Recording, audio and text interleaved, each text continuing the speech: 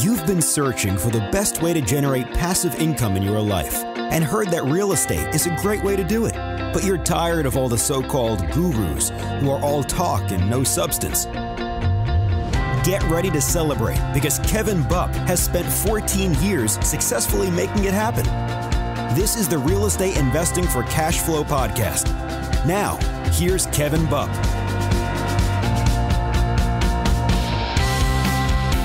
Hey guys, Kevin Bupp here, and I want to welcome you to another episode of the Real Estate Investing for Cash Flow podcast. Our mission is to help you build and maintain massive amounts of cash flow through income producing real estate investments. Now, our guest for this week's show is real estate and retail shopping center expert David Puchi. Now, David is a founder and active partner at Baceline Investments and is responsible for long term strategic direction of the company regarding capital development and fund formation. He oversees and approves major investment decisions, including serving as a voting member of the investment committee. Additionally, David has been responsible for raising approximately $300 million for Baceline sponsored funds. Now, David graduated with honors from the University of Denver with both a Bachelor of Arts and Law degrees. He practiced law for five years in Denver. Denver, Colorado, and specialized in corporate mergers and acquisitions and real estate law prior to moving into the real estate investment sector. Now, here's what you're going to learn in our interview with David today. You're going to learn how David and his team fared during the 2008 recession and how this challenging time somewhat recentered their business from industrial, office, and neighborhood retail to solely putting 100% of their focus on the neighborhood retail sector. You're going to learn why David feels that there is an equal amount of stability, if not sometimes even more stability, in local mom and pop tenants as opposed to national credit tenants. And so David's going to actually share his perspective on why he feels this way, and he actually has factual data to back it up.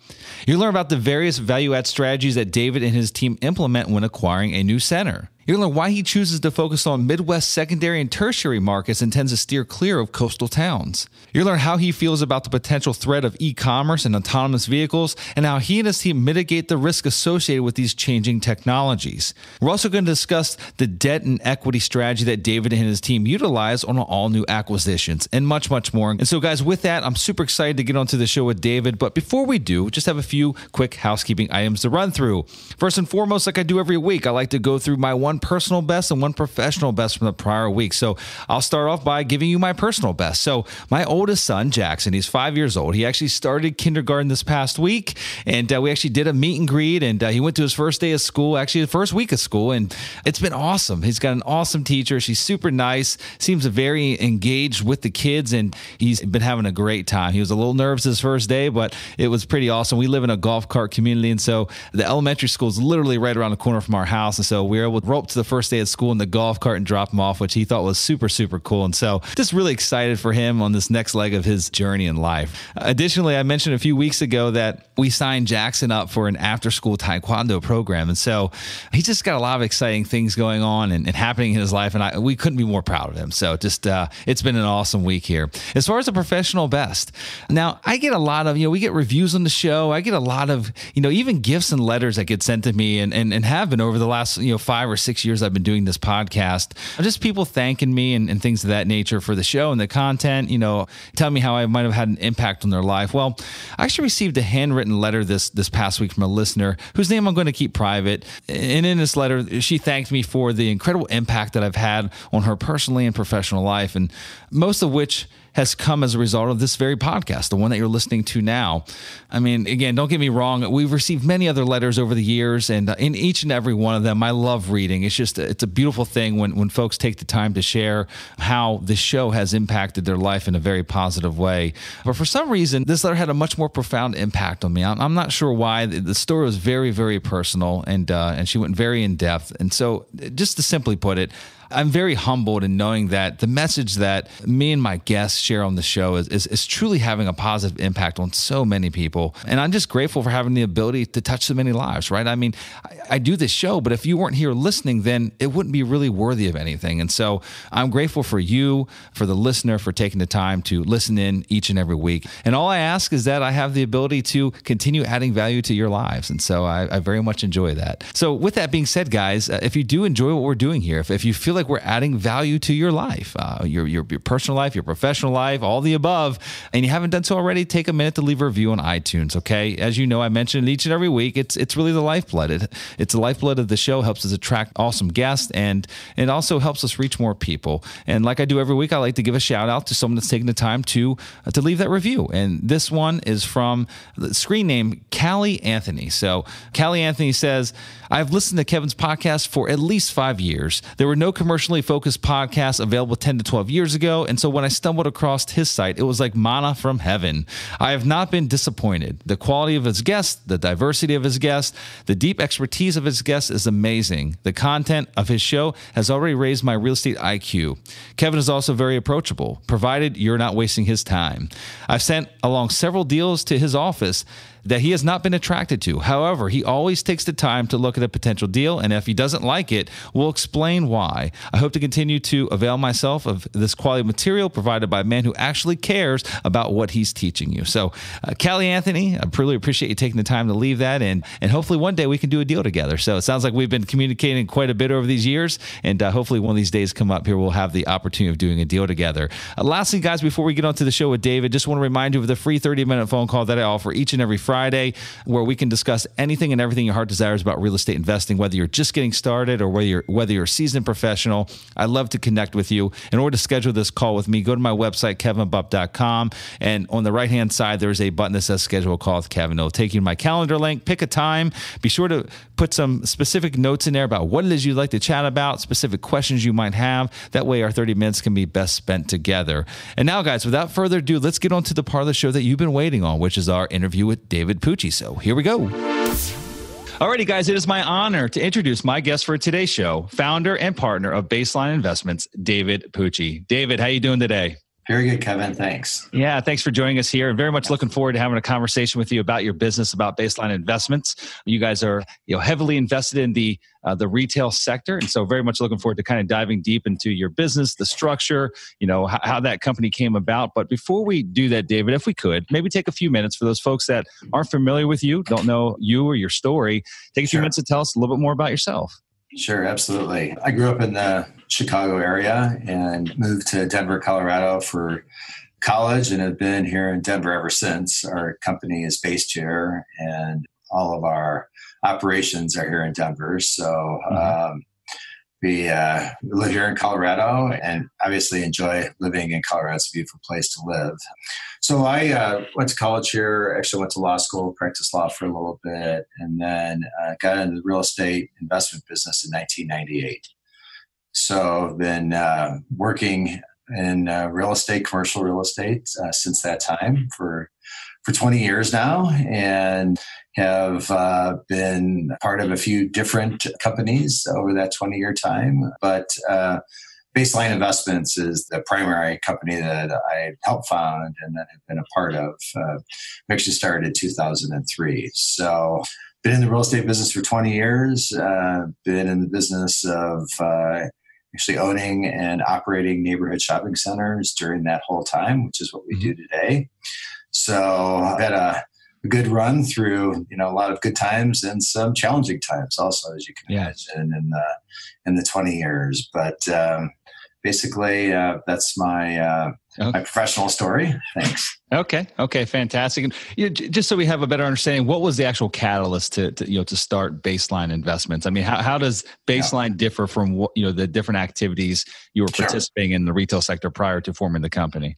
well if we go back to my background as an attorney um, I uh, gravitated from practicing law into property management, actually, uh, commercial property management. Uh, worked for a uh, local developer and, and managed all of his properties for a good period of time. And then uh, always had an entrepreneurial desire and uh, had the opportunity to start a predecessor company, which was a third party property management company. And our company today really carries on a lot of the traditions that um, I started with when I broke free from practicing law, and, and primarily that we're never been a transactional type of company. We've always been more of an operating company, and uh, we've always been a company that not only operates the real estate in a uh, true long term fashion, but since we have uh, raised money throughout our history,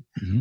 the capital that we raise, we have always treated that really from a uh, more of a fiduciary type of capacity and not transactional. So mm-hmm. we raise money, we uh, treat our investors carefully. We're um, we you know view our business as being a steward of their mm-hmm. capital. So I guess when you combine the operating history with the idea that we um, we take seriously an investment from one of our clients, you get this I guess different view of the world maybe than than than a brokerage firm, for instance, which you know really is a transactional based firm. Mm-hmm. Uh, our firm has always been very much an operating, uh, like I said, kind of a fiduciary type of attitude with the capital that we're uh, entrusted with. So, and combine those things, we've uh, operated, I think, a little bit differently than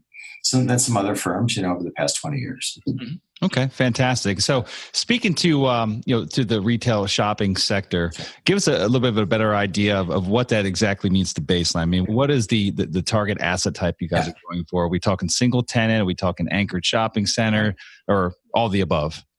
Yeah, uh, well, since 1998, we have been in the business of owning and operating uh, multi-tenant neighborhood shopping centers, and uh, as you know, uh, there are different sectors of commercial real estate. Uh, you mentioned there's, uh, well, and different sectors within the retail side of commercial real estate. So there's malls, single tenant, uh, mm-hmm.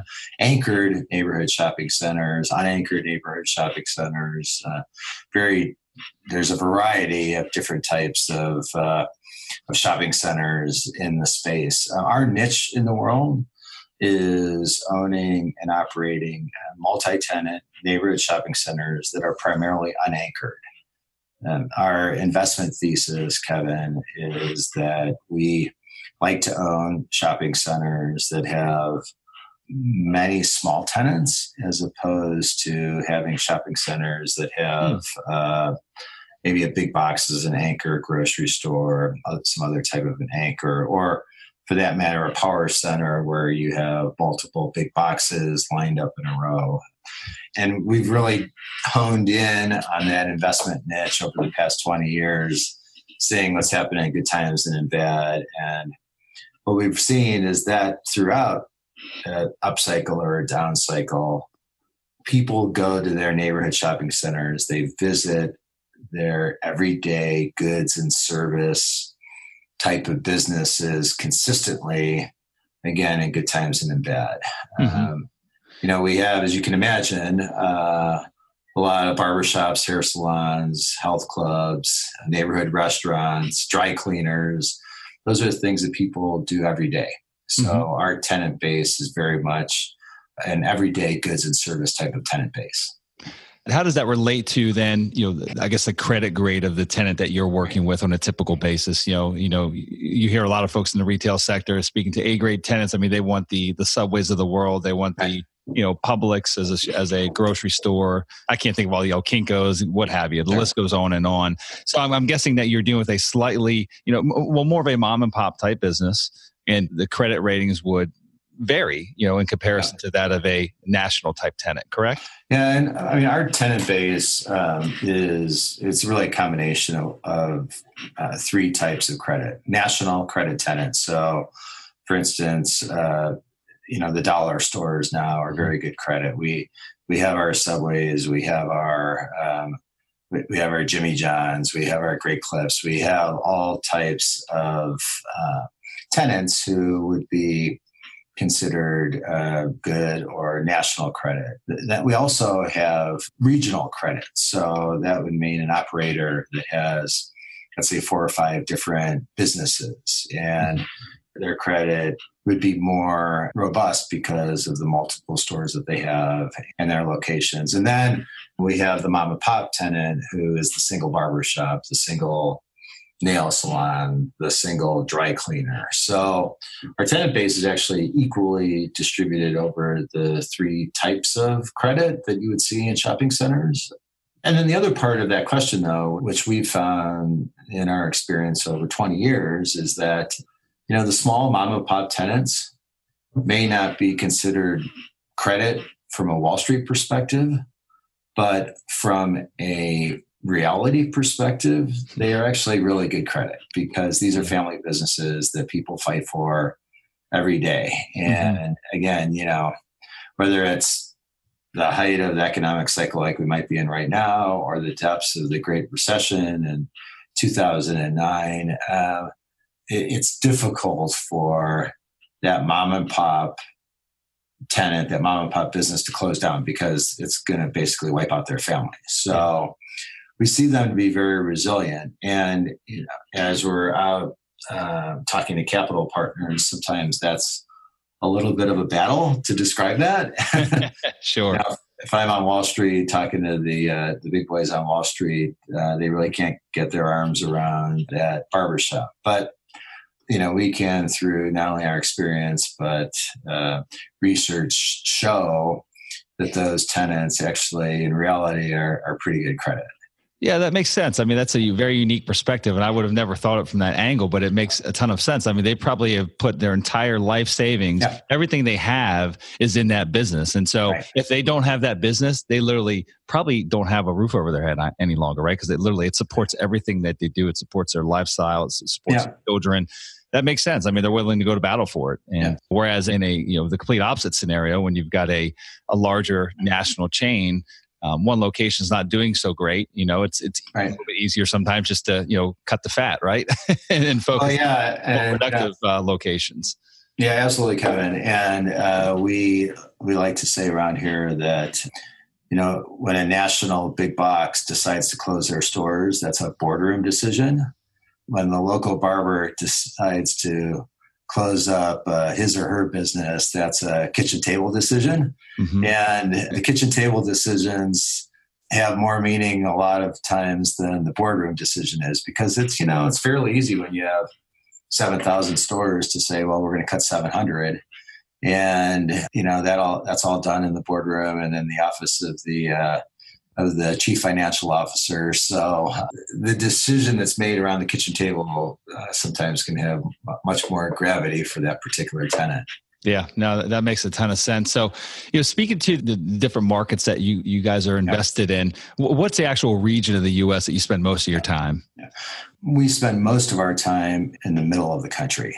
Okay. Um, and um, uh, you know, and I, I know you're in Florida, and Florida is a great place to do business, but uh, Florida is also pretty expensive as far as real estate is concerned. So um, I understand that quite well. Most of our investments are outside the state of Florida, so right. I get it. right, right, right. Yeah. So you know, we like to say anything but the coasts when we're talking about the cities that we're in and and you know just to put some uh, reality to it we're in places like uh, dallas we're in uh, we're in Kansas City and Omaha, the Chicago area, Indianapolis. We're in Nashville, Louisville, Kentucky, Columbus, Ohio. You know, they're middle of the country cities that are stable and for the most part growing and clearly within the submarket that we're in a particular shopping center that's a growing submarket so mm-hmm. the reason why we like to be in the middle of the country is that we find great stability in the, the cities that we're in. We also find that there's just less competition in uh, acquiring a shopping center in the middle of the country as opposed to on the coast. And because there's less competition, um, prices are typically better in the middle of the country. So, I mean, right off the bat, if uh, we're looking at a neighborhood shopping center in Indianapolis uh, with similar demographics, the neighborhood around it, similar tenant base, similar traffic than that same shopping center in LA.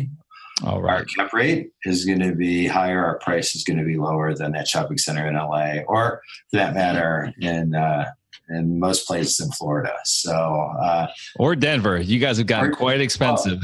Well, yeah, and Kevin, you know, this is indicative of that, but we don't own anything in the state of Colorado. Yeah. We're based here because Denver is uh, now, you know, it's coastal pricing basically. So, you know, we can go to Madison, Wisconsin, another great college town, and buy a shopping center there that's a high quality shopping center and, and buy that at a, at a pretty good discount to what it would be um, on the coasts.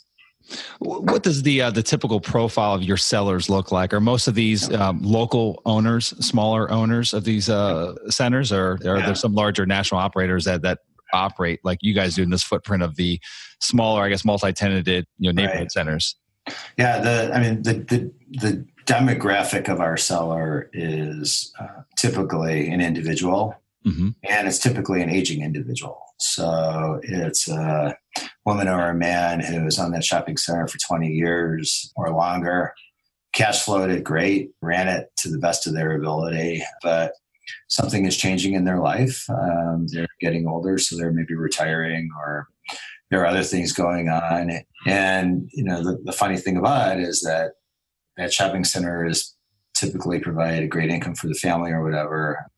But the kids probably don't want to run the shopping center. They'd rather have the money. So we are able to buy that shopping center from the aging individual and um, it's kind of a win-win all around. Uh. And then when we do that, Kevin, we because of our size, our scope, we institute best practices and institutional management styles. So, you know, basically, we're taking this mom and pop owned shopping center that's been doing just fine for that particular seller, and then instituting best practices to add value. And uh, there are a lot of examples about how we do that. Uh, being that we're on that topic, let's let's yeah. share some of those. I mean, because I think that's yeah. that's a, a big part of our listener base. I mean, whether they're in the the retail, the office, the multifamily sector, you know, all the above. You know, value add is such a big word nowadays, right? I mean, it's yeah. uh, whether you're buying something that doesn't have much or has a you know it's a huge turnaround opportunity value add is still top of mind and uh, you want to be able to go in and, and, make improvements and, and realize those improvements from a capital perspective so how does that work in your space yeah. So in our space, uh, we're when we're buying a shopping center, it's already cash flowing. First of all, so mm-hmm. we have um, let's say it's seventy five or eighty percent occupied. And it's probably a 10 space shopping center. So there's maybe one or two vacancies in it. And the, the prior owner, again, has done their best to run the shopping center, keep it occupied. They've done a good job. But, you know, they haven't necessarily pushed rents to where the market is because they may not know what the market is in their particular city. They may not have taken a look at the tenant base and said, okay, well, you know, we have uh, Joe's barbershop, which is great. Joe's been doing pretty good, but is that the best use for that space? Well, no, maybe a Great Clips is. And maybe Great Clips is going to pay $15 a square foot and Joe's paying nine. So we'll take a look at each particular space in a property and figure out how to best utilize that space all keeping in mind that we're in the community and you know we don't want to do things that are going to disrupt that neighborhood shopping center. But you know looking at the rent roll looking at each tenant uh, figuring out how to best utilize that space is, is very important.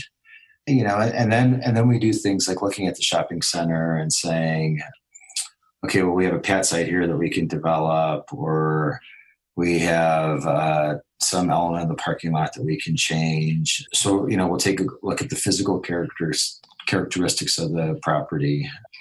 Also, since we have scale um, and are well capitalized, we can improve the property physically, uh, facelift, parking lot, lighting, numerous things that we can do. So, when you look at both the tenant base, and the, the, the financial part of the tenant base, the physical improvements.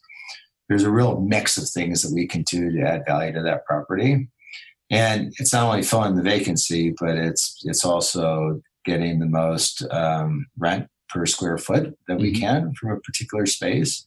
And again, keeping in mind that this is a community or neighborhood shopping center, and we don't want to we, we don't want to make the neighborhood mad by you know just willy nilly kicking out some tenant and sure. putting somebody new in. Um, there's there's a balance there.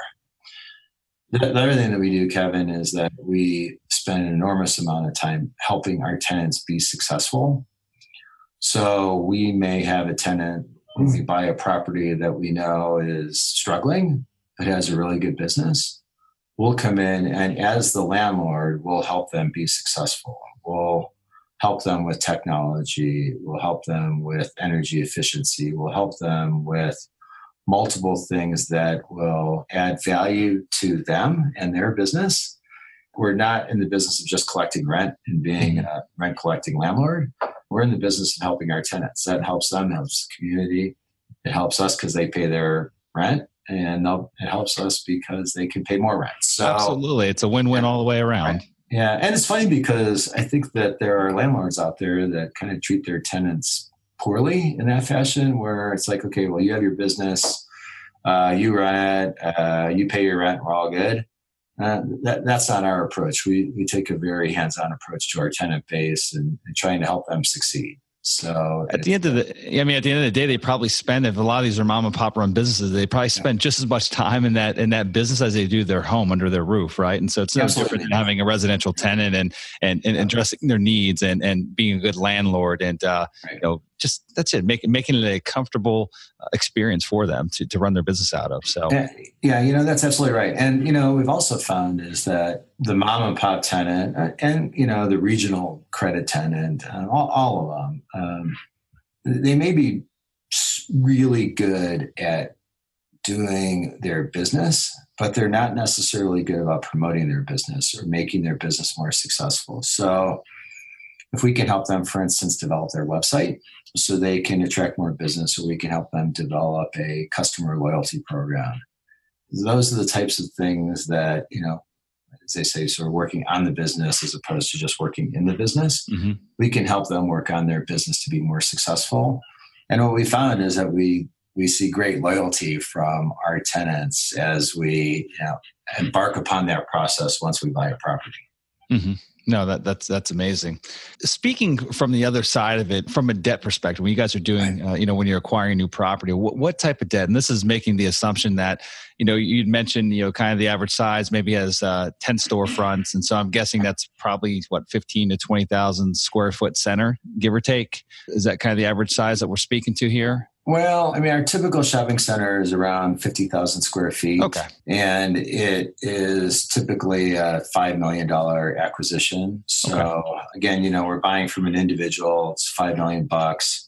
I was going to try to figure out what the capital stack looks like. So a lot of things you guys are buying is value add. It might have some vacancies. So you guys are going to, you know, you might you might be increasing rents over time. You might be, you know, filling in those vacant units. So you guys are going to ultimately maybe it's from five million to six and a half million dollars over a period of 18 to 24 yeah. months. What does that debt or that capital stack look like on the front side of the deal? And then ultimately, how do you guys extract that value that's been added over the first couple of years?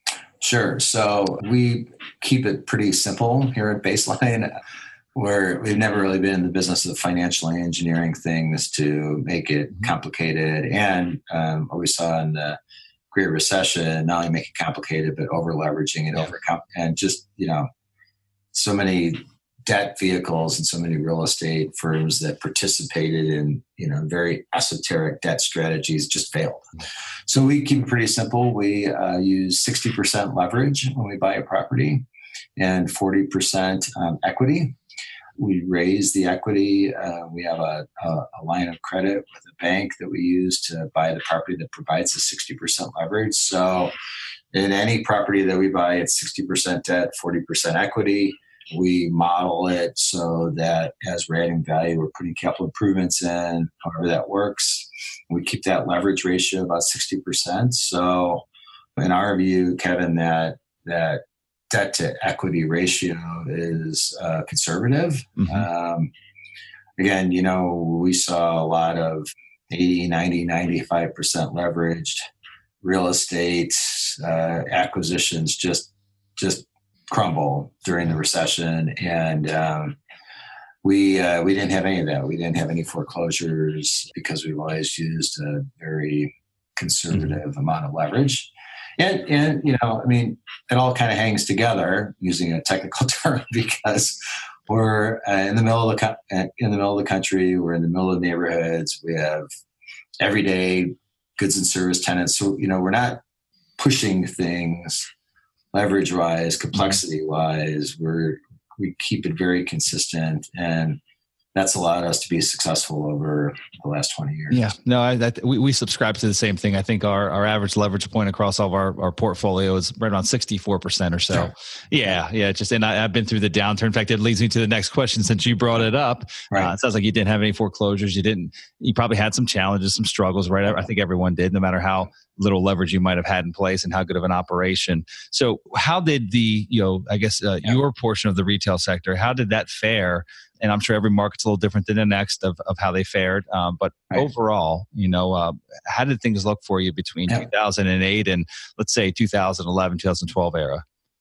Well, yeah, that's a great question. Uh, rolling into the recession into 2007, 2008, we, um, you know, neighborhood shopping centers, uh, office buildings, and uh, some industrial flex properties. Um, as as we work through the recession, the property type that held up the best was the neighborhood shopping center. Hmm. And, and, then as we rolled out of the recession, we um, narrowed our focus just to be an owner and operator of neighborhood shopping centers. So the, the, the reason for it, at least from our um, perspective and what we saw, is that um, our industrial properties in the office really the tenant base it was easier for them to close up and go home so for instance we had drywallers electricians and plumbers in our industrial properties well those guys kind of rolled up shop brought it to their garage and then they stayed there and they pick up trucks so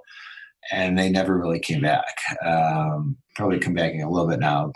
So all those different types of properties, we saw the neighborhood shopping center held up the best.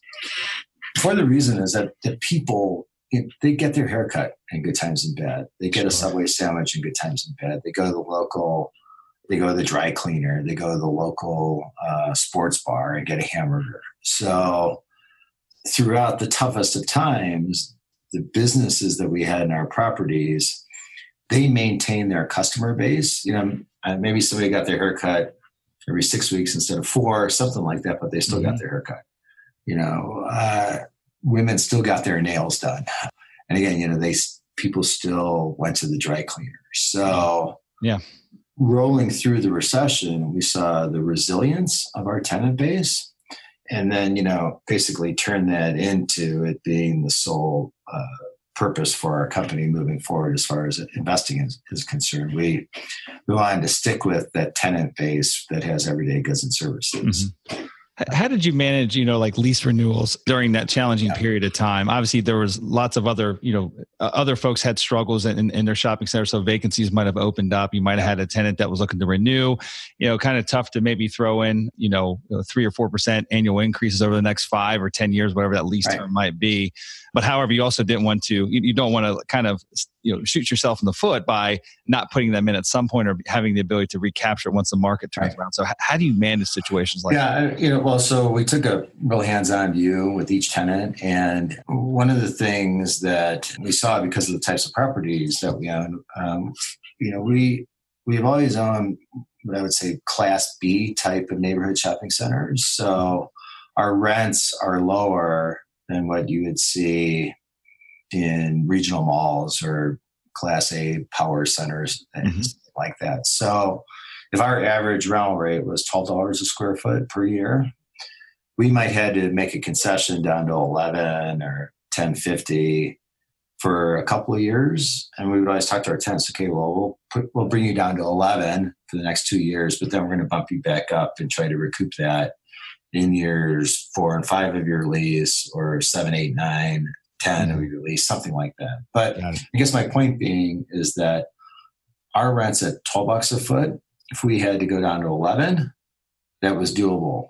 If our rents were at $30 a square foot or 60 bucks a square foot and you had to go to 15 or 30, you know, th- those are pretty big changes in your, uh, in the income coming from a particular sure. tenant. So the word isn't muted, but it was definitely definitely kind of tempered because our lease rates have always been lower than really expensive lease rates. So, you know, in the tough times, we just had to cut a little bit less, I think. And and we were able to kind of smooth through the recession. Yeah. Okay. Okay. Fantastic. So I love to speak from like a uh, from a SWOT analysis perspective. You know, yeah. strengths, weaknesses, opportunities, threats. What do you perceive to be you know some of the I guess the the biggest weaknesses or threats against the retail sector. Uh, you know, everyone speaks about e-commerce and Amazon, right. and you know that it is changing the world. But however, people still will go to the neighborhood shopping center. People still need to get haircuts. They still need to get their dry cleaning until until Amazon can figure that one out, which they might. Who knows? But what are some of the other big threats that exist in this space? Um, I'm glad you mentioned e-commerce because it's something that we think about all the time. Mm-hmm. And uh, as we're looking at putting new tenants into our shopping centers, we're looking at whether their uh, sales are e-commerce resistant. And Kevin, you you just mentioned it. You know, Amazon still can't cut your hair.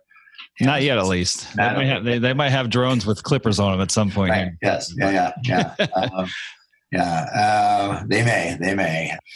But you know, not only was our tenant base uh, recession resistant, but now it's e-commerce resistant, and, and we're continually working on that. So mm-hmm. I would say, and, and you mentioned this, we, I mean, we kind of have that covered, right? I mean, we understand how e-commerce is affecting the world. We understand that we're, we're always moving our uh, focus into new uses that are internet sales resistant. But you know, there are other things that we have to keep our eyes on. We have to keep our eyes on I mean, like other say crazy stuff, but we hear about all the time is, you know, well, how would autonomous driving vehicles affect yeah. our shopping centers?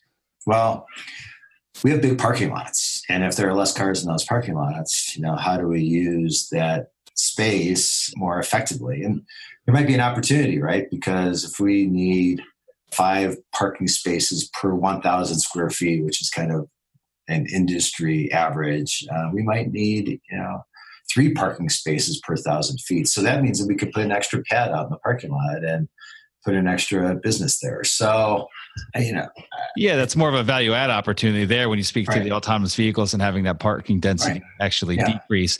Uh, there's actually a question I wanted to ask when we were talking about different value add yeah. opportunities within uh, you know, your sector. And have you seen has there been any changes in you know, g- generally speaking, you know, parking lot density requirements decreasing? You know, for example you know, quite often, in fact, there's, you know, a, pretty large redevelopment happening on an old Kmart yeah. center, which, you know, back in the day when they built those things, yeah. Um, you know, the parking lots were massive, right? Right. They were set deep back, you know, into the, into the space. And then you got this massive parking lot you know, in fact, I just it's happening at a Kmart uh, that they're redeveloping into a bunch of different retail storefronts. They've put a couple different out parcels there. There's another kind of a power center uh, near where uh, our office is based that you know, had like Staples, had Barnes and Nobles, had uh, Old Navy, and a bunch of others. And uh, that really hasn't changed. That's not that old of a center. However, they did just recently put, I'm guessing, probably about an eight to 10,000 square foot retail out parcel there over the last year or two, in addition to like a fast food parcel that didn't sure. exist exist prior. So has that has that been a, an ongoing change as far as like a parking lot density requirements are concerned? Yeah, absolutely. And uh, I mean, I would even take it one step further is that what, what we're seeing is that there are some boxes that are just never going to be filled with traditional retail anymore. Mm-hmm. So what we're starting to see, and whether it's a Kmart redevelopment or a regional mall redevelopment, is that if it's good real estate, if it's located well, then there are other uses for that real estate. So I was just um, out of town and I stayed across the street from a from a uh, place that used to be a, a uh, big um, outlet.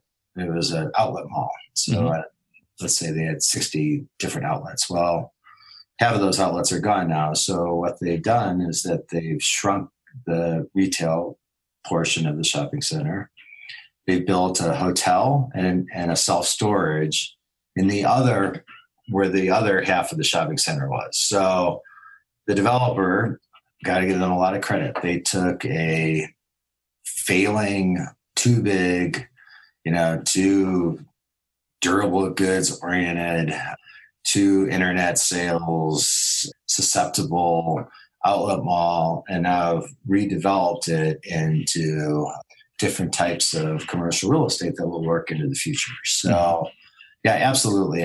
And and you know, this will continue as you know we see some of the big change closing more and more locations. There aren't a lot of uh, new retailers coming into those spaces to coming into those big box type of spaces. So we're going to see a lot of redevelopment. And again, if it's good real estate, it gets redeveloped. If it's not so good real estate, it's going to be tougher to deal with. But mm-hmm. um, it, things are changing rapidly, clearly, uh, yeah. within the traditional retail space. Yeah, fantastic. Uh, speaking from a property management perspective, uh, you guys have got you know locations in, in many different markets in different states across the country. Yeah. How do you manage the you know the, the leasing? I know that you have your own property management infrastructure, but how do you manage the boots on the ground? You know, I don't know what the concentration looks like in these different markets. So maybe you have substantial, you know, hundreds of thousands, millions of square feet in one given market where you can justify having you know uh, a dedicated leasing individual in each one of these respective markets. So I guess maybe speak to that a little bit of how that infrastructure looks on your side. Yeah. What we found is that we utilize a uh, combination of um, internal leasing capabilities and um, external, meaning that on all of our properties, we have a, um, a traditional third party brokerage firm. Mm-hmm. That is helping us with our leasing. You know, those folks know the local markets, know the local leasing markets better than we do. So we're going to take advantage of hiring uh, whoever it is, a CBRE or whatever firm that's out there to help us lease up our properties. But with that being said, we also have a very robust internal leasing management group that not only manages those external brokers, but um, actively uh, renews our, our current tenants. So we know our current tenants best. We know what they can pay. We know what the market is, all that type of stuff. So we're always in the business of renewing our current tenant base and, mm-hmm. and working with the outside broker to uh, to bring new tenants to our property. And we we just found that that combination, you know, that local expertise with the mm-hmm. the external broker, and then our internal expertise with the tenants in our property works well. Yeah, no, that that makes a ton of sense, uh, um, especially when you're spread out amongst multiple different yeah. you know markets. So that makes it. Well, yeah, you know, Kevin. Another thing is that we, uh, I mean, we love the brokerage community because not only do they help us with the properties that we own, but they help us find find deals, buy it. or sell properties that we want to sell. Right, so. I mean, our business is uh, controlled so much by the by the you know by the brokerage community that you know we we we embrace everybody and, mm-hmm. and use that to really operate on all facets of our business. Would you say that's a majority of where your new acquisition leads come from? Is the yes. brokerage community? Okay. Yeah, um, most of our new acquisition leads come from the brokerage community, uh, and that that has really never changed and and it won't for a long time. I mean, there's new iterations of the brokerage world. So we have mm-hmm. you know, the online brokerage houses now. We've got traditional brokerage houses. Um, what we've also done, again, because we have some scale, is that we've created a database of over 10,000 individual owners that are not represented by mm-hmm. brokers. And we cold call you know, uh, yeah. we call call and say, uh, "Hey, Mary, do you want to sell your shopping center?" Uh, the answer is usually no, but you know, if it's no, but I'll keep you in mind. That's great. So we've had success in buying directly from a seller, yeah. and we think we have the most robust database of uh, neighborhood shopping centers. Uh, nobody else has spent the time or the effort to put together a, a database of potential sellers. So we're getting more and more traction there. Yeah, I was going to ask you, proportionally speaking, what do you think percentage of deals have you purchased, you know, from brokerages as opposed to direct from owners? Oh, it's ninety five percent brokerage. Okay, five percent. Okay, got it, got it. Yeah.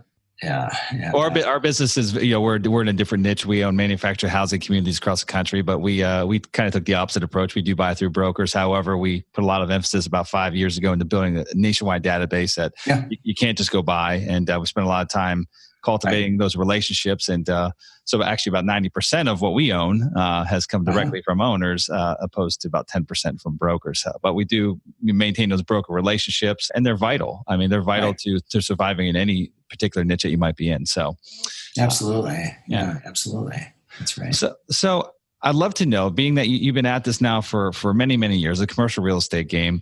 You guys have made iterations along the way, have uh, you know changed course when times got a little tough, had you know kind of honed in on focusing just on the retail sector and got rid of that you know the flex space and the office space. But after all all that was said and done, you know where you're at today, if you can go back in time and give yourself some advice when you're first getting started, what advice would that be? That's a good question. I think that the advice would be that hitting just a bunch of singles and doubles over a long period of time is the way to go. And, you know, we have been distracted along the way, much less so in the past uh, six or seven years than in the previous 10 years or so, uh, with kind of chasing some stuff that um, looked pretty shiny but you know may or may not have worked all that well. Where, and if I were to say 20 years ago to me and my partners, would be like, hey, you know, yeah, let's just stick with hitting a bunch of doubles because hitting a bunch of doubles is is pretty good. Hitting a bunch of singles and doubles, and you know, not not pressing it too much. So, you know, we got through the whole mess the Great Recession pretty well, and are here today thriving. But yeah, I mean, that, that would be it. It's just like pick a niche and stick with it. If it works, just kind of, you know, stick yeah. with it over a long period of time. Yeah, I was going to ask you what what is the long term game plan of, of Baceline investments when you guys go in to purchase a property? Is it you know with the you know with the intent of having a ten year hold, twenty year hold? I mean, really, what's the long term game for you guys? Sure, sure. Uh, we'll typically underwrite a five year hold on a property. Mm-hmm. So we're we have traditionally been buying and operating and selling all times. Um, today, we're acquiring more than we're selling, and mm-hmm. we're we're adding size to our portfolio, Kevin. So at some point in the future, you know, we can see going public. We can see uh, teaming up with a more institutional partner to grow even even further. But at this point, where we sit today, we're building our portfolio to have one of those options in the in the future. And yeah. clearly, going public is an option. Um, uh, having a large private equity strategic partner in the mm-hmm. future mm-hmm. is an option. You know, and that that's where our focus is on today. It's it's growing the company and uh, and adding scale. Got it. Got it. Well, this has been fantastic, David. Lots of great information uh, that you shared here today yeah. with us. And, you know, I'd like to enter what I like to call the golden nugget segment of the show. Now, this is kind of where we're going to wrap things up. And sure. we shared a ton of gold nuggets already. But if you had just one final gold nugget of advice or wisdom that you could leave with the listeners today that might inspire and motivate them as they progress in their very own real estate investing career, what would that one last gold nugget be? I mean, I think the last golden nugget would be to, uh, you know, is to be a risk taker and go out there and, uh, and you know, and buy some real estate, but do it prudently, right? Sure. Which goes back to that hitting singles and doubles type of thing, because mm-hmm. no matter what anybody says about prices being overheated, the market being, you know, too competitive, there's opportunity. And as maybe an individual investor, family investor, whatever it is, you can find opportunity. And you know, taking a little risk and buying that property, whatever it is, and fixing it up and and adding value to your earlier point. Um, that's a tried and true formula that that sticks it really at any time. And yeah. you know, the, I hear so much. Well, the market's too overheated. It's too expensive. Blah blah blah. Well, yeah, generally it is, but you know, there's opportunity out there. Sure. that all of us can continue to find it you just got to dig a little deeper. That's right. all. That's what I say. You know, we, we, we had a phenomenal year last year, and this year we've uh, it, it's been much much slower. We've we've killed more deals than we purchased, uh, but it, sure. you just got to dig deeper. That's it. I mean, there's right. more folks out there chasing yield, more people looking to to jump ship from one asset to the next. Uh, yeah. You know, what what we're seeing is a big migration from those that are or were in the multifamily space are coming over to our space. They would have probably yeah. turned their nose up at it three years ago, and so just a little bit more competition. And again, just got to you know claw a little deeper into the. Uh, well, yeah, and your space is similar to ours. I mean, it's it's relatively undiscovered. If there's a great opportunity ahead, mm-hmm. and, and, that's meaningful for us. So sure, I, uh, I agree with you. Yeah. Well, Dave, this has been an absolute pleasure having you here. And folks, if you want to learn more about David and, and his group, you can go visit his website. It's bacelineinvestments.com. That's Baceline, B A C E, lineinvestments.com. And David, just want to thank you for coming on the show here today. And uh, uh, yeah, I want to thank each and every one of you that that tuned in uh, for this week's show for for being here. And until we meet again next week, guys, this is your host Kevin Bupp, wishing you huge success. Congratulations! Now you've got more of the best tricks of the trade in building massive amounts of passive income from real estate. For more amazing resources, visit realestateinvestingforcashflow.com and we'll see you next Monday morning.